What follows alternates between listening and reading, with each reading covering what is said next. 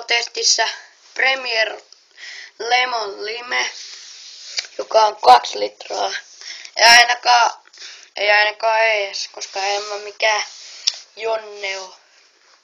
Niin kuin kaikki luulee. Ja tänään testataan, katos, miltä se maistuu ja kuinka iso se on, kato. Kaksi litraa, niin tietää, että se on pitkä. Katsot sen näin. Noin pitkä. Ja se on myös painava. Oh, ainakin mulle, kun mä nostin yhden kädellä. Niin ja nyt on sen aika, että ruvetaan testaamaan.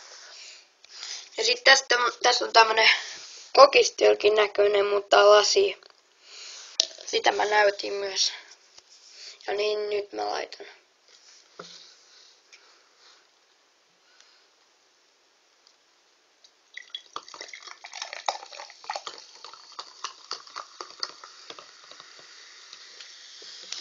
No.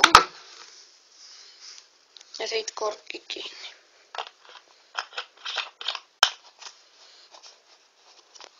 Odota hetki. Piti laittaa pausille, kun piti laittaa se kunnollakin.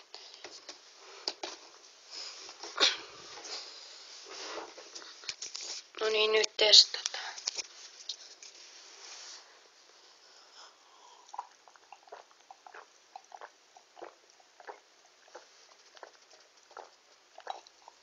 Hyvä. Lemon on aina hyvä. Sama makusta kuin Sprite. Mut Sprite on eri merkki, mutta se maistuu samalla.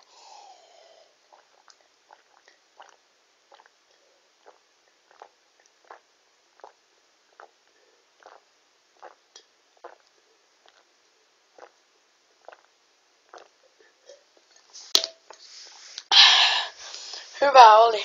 Siinä oli tämän päivän testi. Ja kahdella litralla lemon nimellä. Ostakaa, se on hyvä.